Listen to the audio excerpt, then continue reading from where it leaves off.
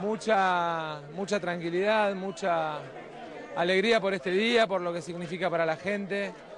Sobre todas las cosas, el saber que el voto es un valor único que tenemos como ciudadanos y que lo tenemos que cuidar y que siempre tenemos que estar tratando de que el ciudadano sepa que es la mejor herramienta que tiene para construir y para consolidar la democracia.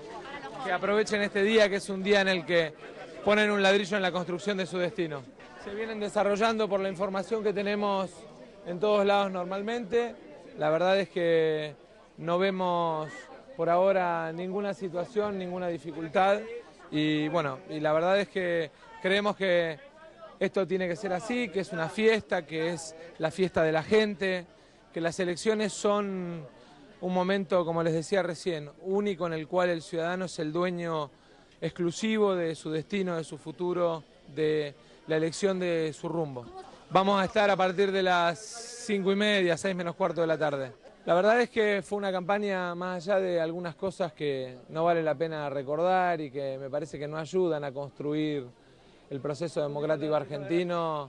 Eh, creo que fue una campaña en la que por lo menos nosotros sentimos eh, la tranquilidad de poder presentar nuestras propuestas. Nosotros tenemos mucha tranquilidad, sentimos que todo lo que teníamos para decir lo pudimos decir y que hoy habla la gente, hoy habla el pueblo, hoy es un día importante por eso, porque hoy quien transmite el mensaje no es el dirigente, hoy transmite el mensaje la gente y eso es muy muy importante. Me parece que a la gente cuando estás todo el tiempo abrumándola con campaña, es como que la, le incomodás la vida cotidiana, la gente quiere vivir tranquila, quiere vivir con orden, en paz y creo que eso es lo más importante.